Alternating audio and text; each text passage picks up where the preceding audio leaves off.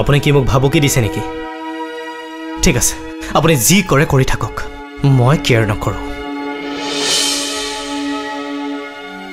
হঠাৎ মূৰৰ বিষ হ'বলগীয়া কি হ'ল? পানী সলনি হোৱাৰ বাবে মূৰৰ বিষ হ'ল নেকি নাই।